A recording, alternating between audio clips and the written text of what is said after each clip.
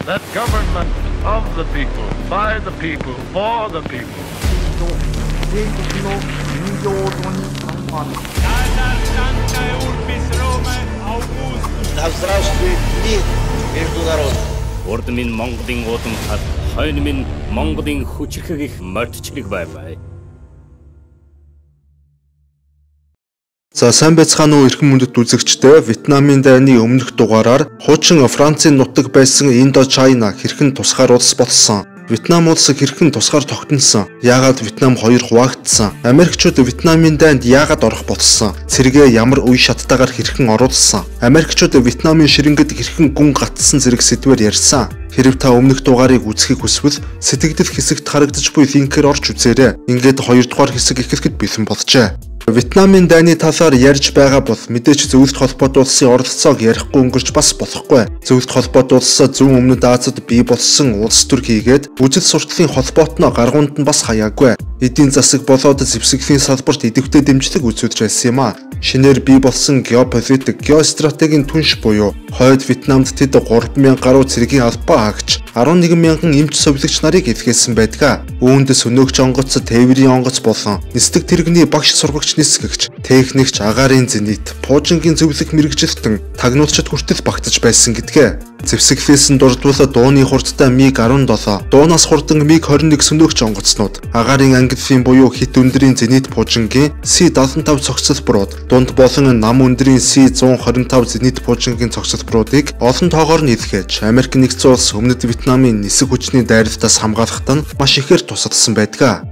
Харин бүгд найрамдах хятад ард улсын оролцооны хувьд гэвэл 1950 оны 1-р сард бүгд найрамдах хятад ард улс Смитийн коммунист улсууд хойд Вьетнамын эрх баригчдыг Вьетнамын аль бие усны засгийн газар хэмээн хүлээн зөвшөөрсөн юм а. Харин өмнөд Вьетнам буюу Францчууд Вьетнамаас цэргийн татахдаа Францчуудын байгуулж өгсөн өмнөд Вьетнам улсыг тэд тоглоомон улс гэж үзэж байсан бөгөөд өмнөдийн тусгаар тогтнохыг коммунист биш улсууд хүлээн зөвшөөрцгөөсөн байна. Бүгд найрамдах хятад ард улсын зүгээс цэргийн зөвлөгчд илгээж зэр зэвсэг ажиллах хүчнийг хойд Вьетнам руу илгээх болсон бол нөгөө талд Америк нэгдсэн улс цэргийн тусламж ба зөвлөгөөний бүлэг гихчиг байгуулсан. Америкчууд өөрсдөө дайнд бичлэн оролцохоос өмнө Францын талд тусадж стратегийн зөвлөгөө өгч мөн өмнөд Вьетнам цэргүүдийг сургаж эхэлсэн байдаг. Коммунист Вьетнамыг бүгд найрамдах хятад ардын зүгээс олон зуун сая долларын зэр зэвсэг мөн цагаан будаагаар хангаж байсан гэдгээ мөн дайны үед дид бүтцийн нөхөн сэргээлтийг хятадын туслалцаатаагаар явуулж байжээ. Үүнээс гадна Вьетнамд хятадын 300 мянган гаруй цэрэг барилж байсан байгаа юм а. 1968 оны 8 дугаар сард зөвлөлт Чехословакийг эзэлсэний дараагаар зөвлөлт Хятадын харилцаа огцом хүйтэрсэн байдаг. Үүний улмаас тухайн оны 10 дугаар сард Хятад умард Вьетнамыг Москвагаас харилцааг нь таслахыг шаардсан ч коммунист вьетнамчууд татгалцсан бөгөөд коммунизмын үлхий болох зөвлөлт холбоот улстай ямар ч нөхцөлд харилцаа холбоотой байх ёстой гэж үзсэн хэрэгэ. Үүнд нь дургуутсан бүгд найрамдах хятад ард улс нь Тэгвэл хойдуудыг хамгаалахгүй хэмээн мэдэгдэж 1968 оны 11-р сард Вьетнамаас цэргийн гаргаж эхэлжээ. Ингээд хятадууд Вьетнамын коммунистуудыг бус хөрш Камбож улсад ирчиг аваад байгаа шинэхэн коммунистууд болох Пол Пот тэргүүтээ улаан гихмэрчүүдийг санхүүжүүлэх болжээ. Энэхүү улаан гихмэрчүүд нь бүр сүүлд буюу Америк Вьетнамын дайны дараагаар Вьетнамчуудын эсрэг газар нутгийн маргаан дэгдэж эхэлсэн тул Вьетнамчууд Америкчуудыг хөөж гаргасан даруйда Камбожийг эзлэн авч тентхийн дэглэмийг нь содсон байдаг. Энэхүү Камбож руу дайрсан асуудлын улмаас Вьетнамчууд бүр бүгд найрамдах хятад ард улстай хүртэл байлдаж байсан талаар өмнө нь орж байсан бичлэгтэн бас ярьсныг санаж байгаа байхаа. Мөн хэдийгээр Америк нэгдсэн улс нь Тэнгисийн болон агаарын их бууны асар их хүчтэй байсан боловч Вьетнамчууд Америк нэгдсэн улсын бүх хүчийг ашиглуулахгүй байх нарийн арга ухааныг хэрэглэдэг байв.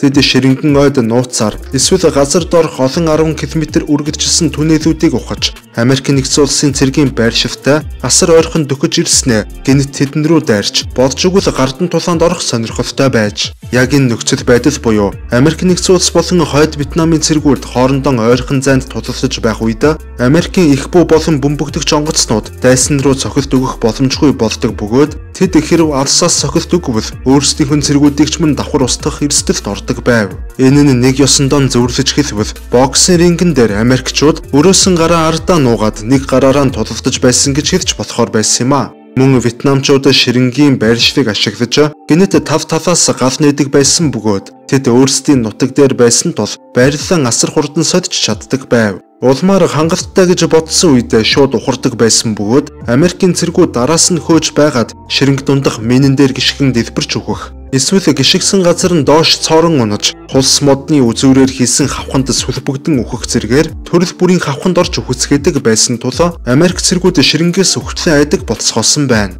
Гэхдээ Вьетнамчуудын хамгийн аюултай тактик нь газар доогуур ухсан хэдэн 10 км үргэлжилсэн хонглууд бөгөөд бүгд өөр хоорондоо холбоотой хонглын асар том логистикийн бүтцийг тэд байгуулсан байв. Америк цэргүүд яг ийм дайсантай, ийм нөхцөл байдалд, ийм цаг агаар, ийм орчинд хизээч тулалдаж байгаагүй тул тэдний өмнөх бүх ялалтын туршлагууд нь ямар ч хэрэгцээгүй болон хувирсан юм а. Вьетнамын дайны сэдвтэй холбоотой ярих дараагийн чухал зүйл нь тэдгээр ард түмний үндэстнийх нь түүх, хүсэл мөрөөдөл, мөн чанартай салшгүй холбоотой маа. Анх хятадууд Вьетнам руу дайрч Вьетнамын газар нутагт 100 гаруй жил эзэн сууж, улмаар Францчууд ирэн эзэдж, 150 гаруй жил колончлж, үүний дараа Япончуудын харгислал ихэрч, улмаар Япончуудын дараа Францчууд иргэн ирж дахин колончлох гэж цус асгаруулан тэмцэж, эцэстэн арай ядан бие даан тусгаар тогтнох эрхэн дөнгөж олж авсан ард түмээ. Энэ ч утгаараа хөөгөөд үзвэл Вьетнамд яагаад коммунизм хүчтэй нөлөө үзүүлсэн, ард түмнийх нь сэтгэл зүйд гүн нөлөөдсөн гэдгийг бас ойлгох боломжтой бүр илүү ухаад үзэх юм бол зөвлөлт холбоот улсын хувьсгалын буюу Большевик хувьсгалыг харуула нийгмийн ажилчин анги хүч чадлыг атгаж төрийн эрхэнд гарч жинхэнэ ажилчин хөдөлмөрчдийн нийгмийг цогцлоод чадсан учраас зөвлөлтийн хувьсгалын түүх нь Вьетнамын ард иргэдийн хувьд тавьсан тэдний ирээдүй цор ганц өөрсдийнх нь гарт байгаа хэмээх сургамж асар хүчтэй үлгэр дуурайллыг олгосон байдаг. Мөн Америк нэгдсэн улсын зүгээс санаатай бөгөөд санамсаргүйгээр иргэдийн эсрэг томоохон алалхуудыг ихээр хийсэн нь Вьетнамын нийт ард иргэдийн сэтгэл зүрхийг хойд Вьетнам руу татагдахад ихээхэн нөлөөлсөн гэж хэлж болно. Тухайлбал Майлаийн хядгалгыг нэрлэж болох бөгөөд Америк нэгдсэн улсын цэргүүд тухайн суурьнд хойд Вьетнамын цэргүүд байгаа гэж үзсэн тул Адсаас шууд гал нээж эхэлсэн бөгөөд үр дүнд нь 500 гаруй энгийн иргэд болон хүүхэд эмэгтэйчүүд хөгшөд амиа автсан юм а. Гэвч тэнд хамгийн аимшигтай нь хойд Вьетнамын ганц ч цэрэг байсангүй. Америкчууд эхлээд буудаад дараа нь асуу хэмээх философиг баримталсан юм.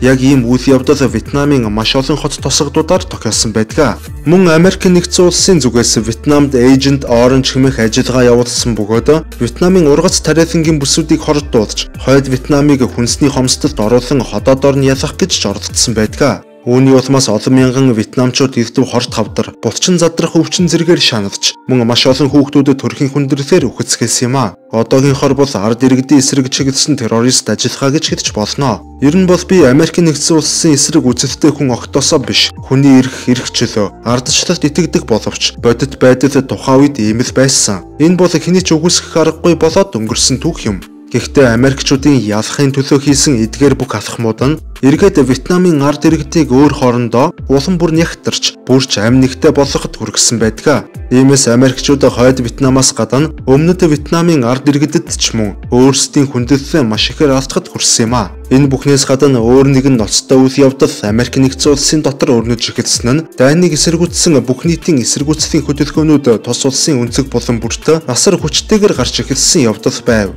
Учир нь Вьетнамын дайны телевизэр буюу өргөн нэвтрүүлгийн шугамар цаг алдалгүй дамжуулагдсан хүн төрөлхтний түүхэндх анхны дайн байсан юм. Америкийн иргэд Вьетнамд болж буй бүхнийг хараад сэтгэл нь асар ихээр имзэглсэн бөгөөд эцсийн эцэст энэ дайн эгд жирийн Америк иргэдэд ямар ч хэрэгцээгүй тэдний дайн биш болохыг ойлгоод бүх нийтээр нь тэмцэцгээсэн байдаг. Өмнө нь болсон дэлхийн 2 дугаар дайны зорилго бол маш тодорхой байсан бөгөөд баруун Европын улс орнуудыг нацист дарангууллаас чөлөөлөх Номхон далайн цаана орших улс орнуудыг эзлэн төрөмгөлөгчдийн савраас ангижруулахад оршиж байв.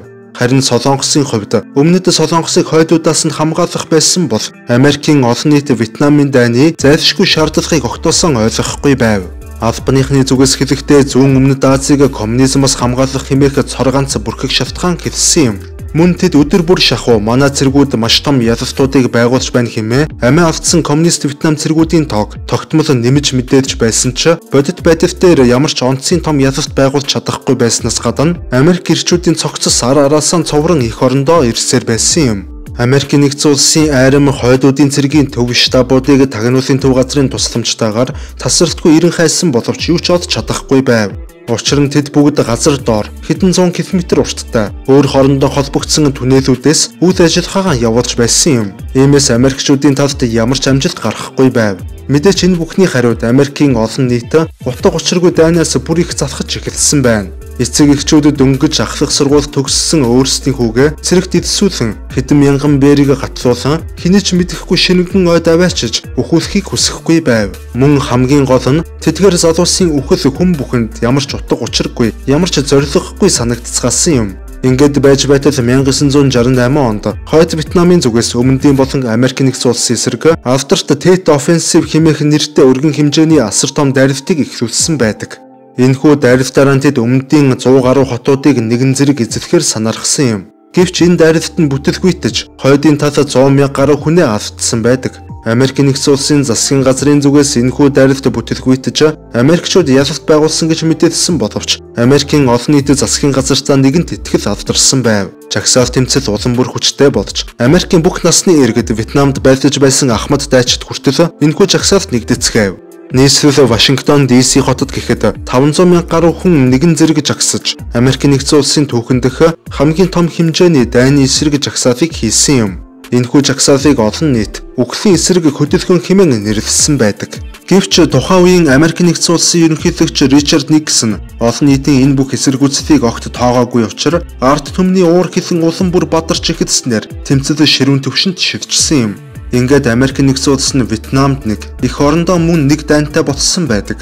1972 оноос эхлэн Вьетнам дахь Америк нэгдсэн улсын цэргүүд байлдах ямар ч урам зориггүй болцгоож тушаал даахгүй байх, цэргээс оргон зайлах үзэгдлүүд ирс нэмэгдэж, мөн цэрэг дэдсгээс татгалзах тохиолдлууд маш ихээр гарах болсон байна. Тэд Вьетнамд очиж ямар ч утга учиргүй үхэж байхаар шоронд хэвтэж байсан хамаагүй дээр хэмээн үзэх болжээ. Залуусад цэргийн албанаас сухтан Канадын хэл даван олон тоогоор дөрвөх болов. Мөн Вьетнамд албаа хаагаад ирсэн цэргүүдийг баатрийн хуваар угтах бус харин эсрэгээр олон нийт үзэн ядаж тэднийг цэргийн хувцастаа явж байвал доромжлох, биед нь халтах үзэгдэл газар авч эхэлсэн байна. Энэ бүхний улмаас Америк нэгдсэн улсын конгресс Вьетнамаас цэргийн гаргах асуудлыг удаадараа судалсаар эсэстэн цэргээ үе шаттай гаргахаар болсноор Америк нэгдсэн улсын цэргийн хамгийн сүүлчийн хэсэг 1973 оны 3 дугаар сарын 29-ний өдөр Вьетнамыг орхисон түүхтэй. Улмаар Америк нэгдсэн улсын цэрэг гарсан тул өмнөд Вьетнамын зүгээс өргөн хэмжээний цэргийн ажиллагаагаан эрчимжүүлсээр 1975 онд өмнөдийн дисциплийг эзэдэн авч хоёр Вьетнам коммунизмын улаан тугандор нэгдсэнээр дайн дууссан байдаг. Америк нэгдсэн улсын хувьд 10 жилийн турш 2.7 сая цэргэн эвгэж асар их хөрөнгө мөнгө болон цаг хугацаа зарцуулсан энэ дайн ямар ч үр дүнгүй болж төгссөн юм. Үүнээс нэг их удалгүй хөрш Камбож улсад ч мөн коммунистууд төрийн эрхэнд гарч улаан өнгөнд будагдсан байна. Америкчуудын Вьетнамд хийсэн дан энэхүү ялагдс нь тус улсын цаашдын 20 гаруй жилийн аж амьдралаа улс төрийн үйл явцад хүртэл маш хүчтэйгээр гүн гүнзгий нөлөөлсөн үйл явдал болсон юм. За та манай суугийг дэмжиж энд харагдаж буй данс руу мөнгөн хандив илгэх боломжтой. Мэдээж таны өгч буй хандивт урамшиж бичлэгээ илүү чанартайгаар илүү тогтмол хийхийг хичээж ирмэлцэх болно. Дараагийн дугаараар уулзтлаа түр баяртай.